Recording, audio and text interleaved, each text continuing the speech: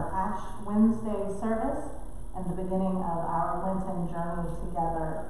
I want to bring to your attention at least one announcement this afternoon that you will be receiving as you leave this service a card that is wrapped around a trash bag. Pastor Russell referenced this this past Sunday in service, but this is something that we invite you to join in with our congregation, everyone from the youngest disciple to the eldest, to participate as a moment of reflection during these next 40 days. This is an opportunity for each day of the week, with the exception of Sunday, that represent our Lenten journey together, to give up of something that no longer is necessary in your life, something that is maybe laying around your home, that item that you know could help to bless and love on another of God's human creations, but one that you no longer necessarily need in your life. It will help us to recognize that there is so many things in our lives that we end up piling into corners, that end up taking over so much of our spirit and so much of our physical space that sometimes we fail to recognize where God is moving in those same environments. So I encourage you to take a moment as you leave, read the little card that will give you better instructions on how to participate, but also to engage in the giving away of items and as a secondary part of this opportunity, these items do not need to come back to our congregation. They need to go to local organizations that you feel would benefit from your items. So please do not bring them back to our church at the end of the 40 days. Please give them on to someone, different organizations that we will list on Facebook and in other areas that would benefit from some of our excess resources. Friends, will you join me as we go to God together in a word of prayer? Almighty Lord, this past year, at times it has felt as though it is a continual Lenten journey of recognizing our humanity. For we realize so many times in so many ways that we truly are simply your creation, not in control, but ones who are in a world that you have created. Lord, we recognize over and over again the sinfulness of our world.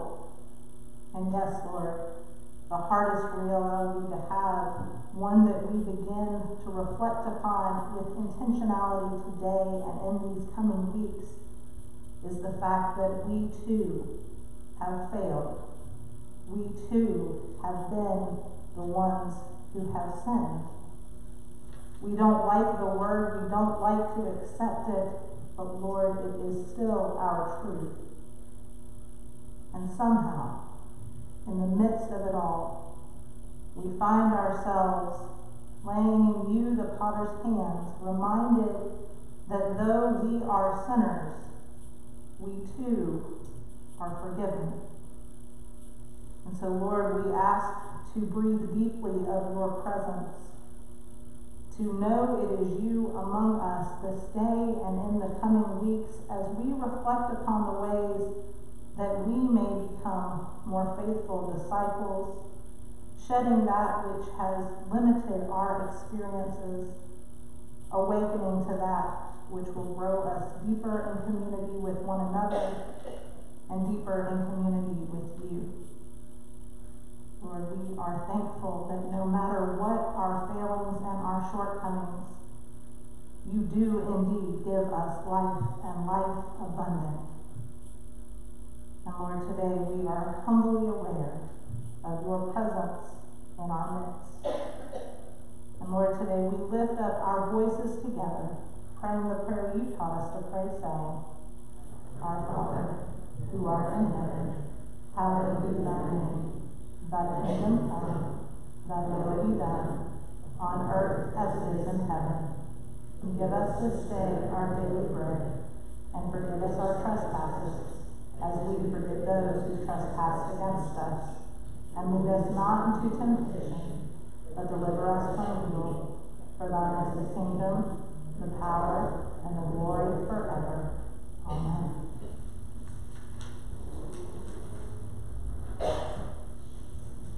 Our scripture lesson comes from the Gospel according to Matthew. It's chapter 6, it's verses 1 through 6, verses 16 through 21. Hear now the reading of God's holy word. Beware of practicing your piety before men in order to be seen by them, for then you will receive no reward from your Father who is in heaven. Thus, when you give alms, sound no trumpet before you as, you, as the hypocrites do in the synagogues and in the streets, that they may be praised by men. Truly I say to you, they have received their reward. But when you give alms, do not let your left hand know what your right hand is doing, so that your alms may be in secret, and that your Father who sees in secret will reward you. And when you pray, you must not be like the hypocrites, for they love to stand and pray in the synagogues and at the street corners, that they may be seen by men. Truly I say to you, they have received their reward. But when you pray, go into your room and shut the door and pray to your Father who is in secret. And your Father who sees in secret will reward you. And when you fast, do not look dismal like the hypocrites for they disfigure their faces, that their fasting may be seen by men. Truly I say to you, they have received their reward. But when you fast, anoint your head and wash your face, that your fasting may not be seen by men, but by your Father who is in secret, and your Father who sees in secret will reward you. Do not lay up for yourselves treasures on earth, where moth and rust consume, and where thieves break in and steal, but lay up for yourselves treasures in heaven, where neither moth nor rust consumes and where thieves do not break in and steal. For where your treasure is, there will your heart be also. This is the word of God for the people of God. Thanks be to God. May God's blessing be upon us. And may God protect us from the enemy that is constantly at work, trying to steal God's word from us. In Christ's name we pray. Amen.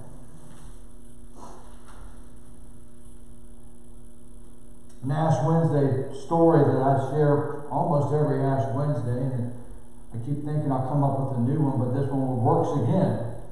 Um, I remember uh, when my oldest daughter, who's now in college, was seven months old. And at the community Lenten service at Low Country Presbyterian Church, she was brought forward, and I put ashes on her forehead, and I said, Remember you're dust, and to dust you shall return. I remember it as if it was yesterday because it hit me in the face that this newborn child would one day die. As a father, that's not something you really want to have to think about or put into words or into thoughts. And, and, and really, Ash Wednesday does that for us. It, it kind of hits us in the face with our own mortality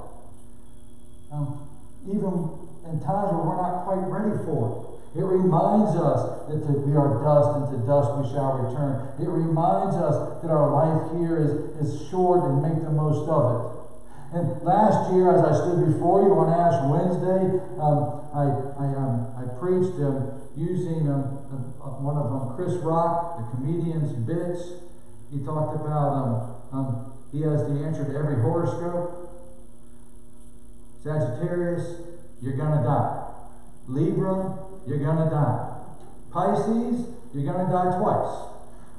I mean, it's, it's kind of funny. But again, it's funny because it hits us in the face and it reminds us that death is, is, is ever present.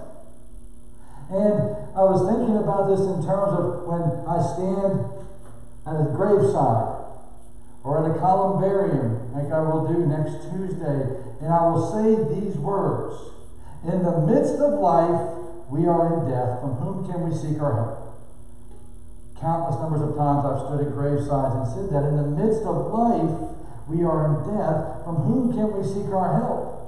And as, as I was th- thinking about that, even just a few moments ago, I was thinking about that, that um, in my ordination ritual, um, a part of it says that we are reminded as we go into this work as ministers that death does not come on schedule.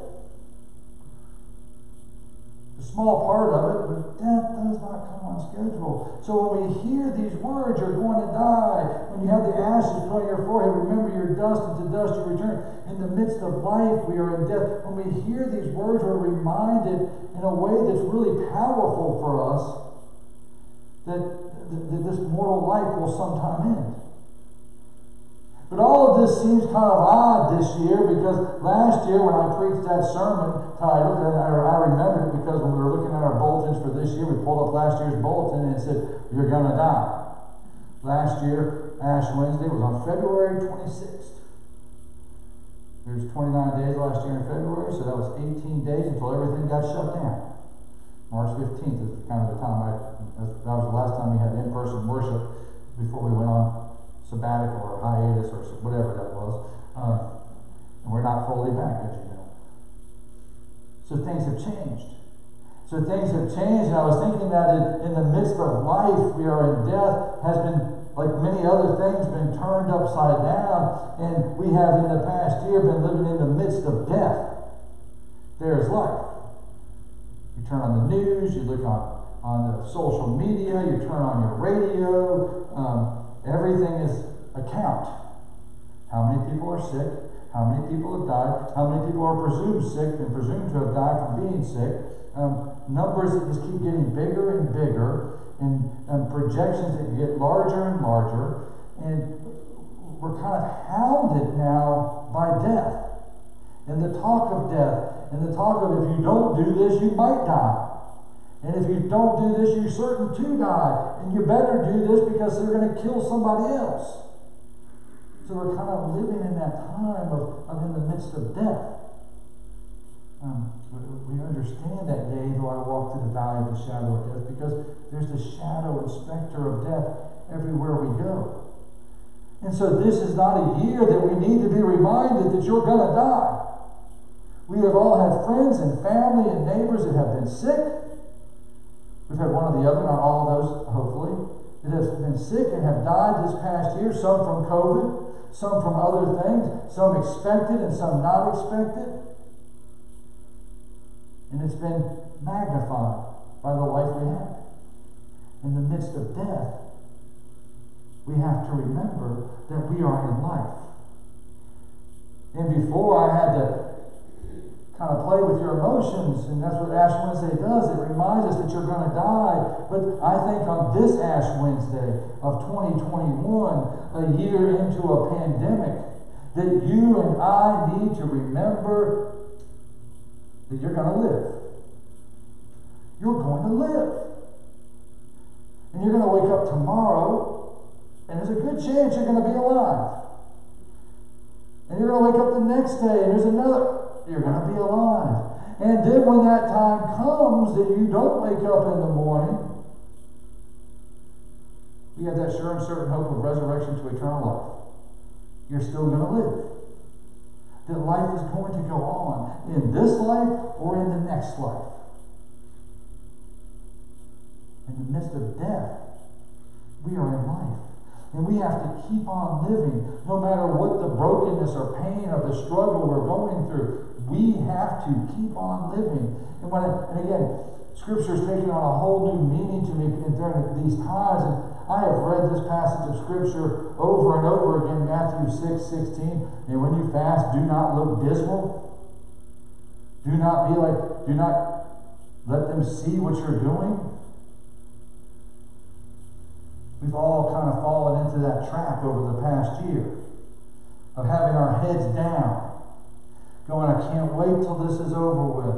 Having our heads down, I'm so worn out and I'm so tired and I'm so exhausted and I'm so, and I can't do this anymore. And I'm not telling you you're wrong to have said it. We have all felt that way. No more. But then again, this is a reminder to those of us who walk in faith to lift up our heads to lift up our heads. Yes, remember you're dust, and to dust you shall return. But also remember there's still work to be done. And some of it we put aside. Some of it's simple. Perhaps we need to do a little dusting of our own, cleaning out those corners, picking up that stuff and putting it in a bag and giving it away. We're dust and to dust we shall return, but right now we need to dust and clean and get ready for tomorrow and know that yes, these times are tough. But in the midst of death, you are in life. You're going to live.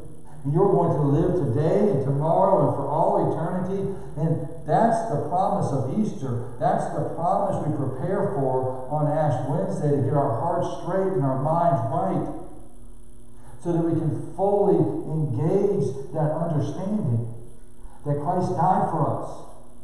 He rose from the dead for us. He lives for us so that we too can live tomorrow and for all eternity. That's the good news of Ash Wednesday. You're dust. To dust you shall return. But right now, you're going to live. You're going to live for Christ. In the name of the Father, and of the Son, and of the Holy Spirit. Amen.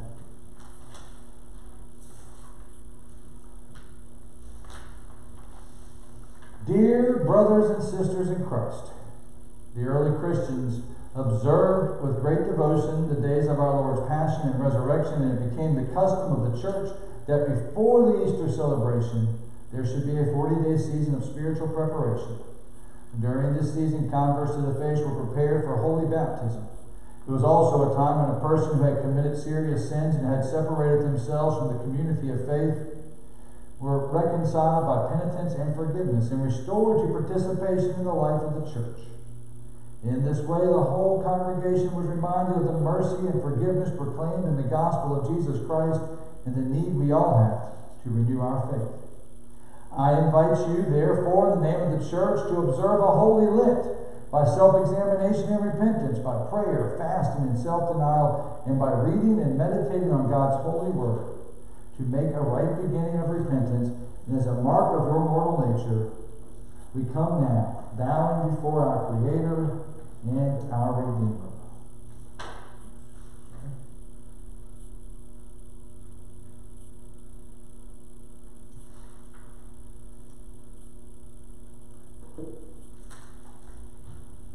On the um, communion table, we have a couple of different ways of doing the ashes over history.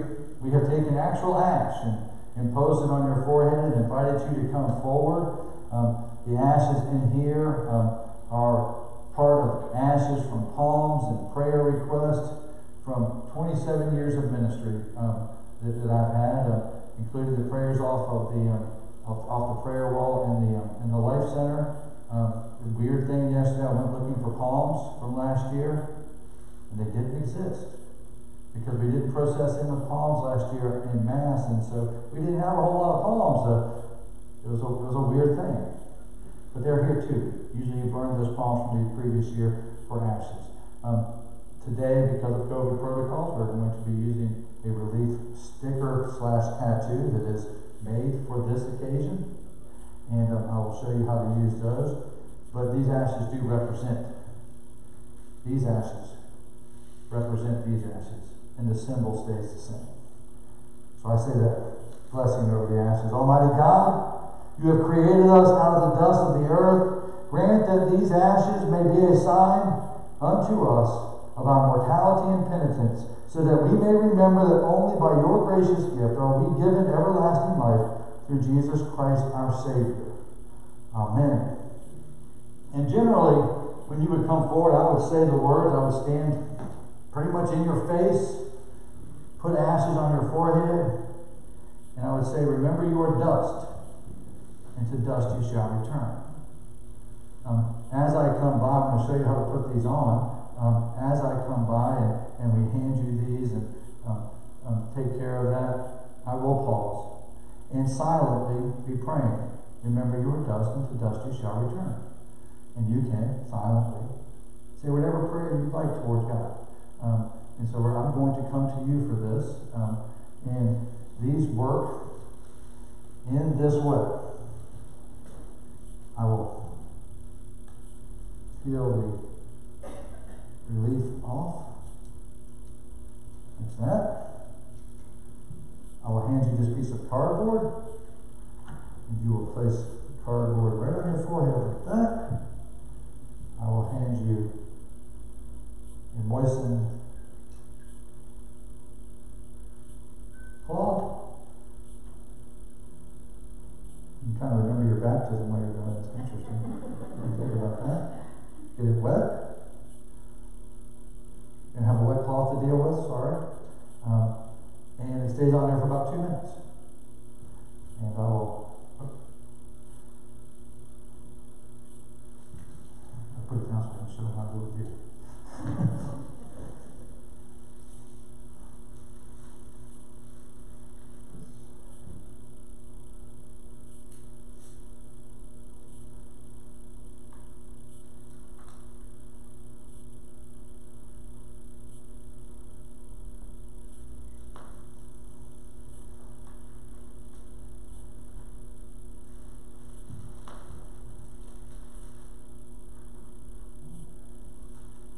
Yes, it takes about two minutes, but. we'll continue this with you.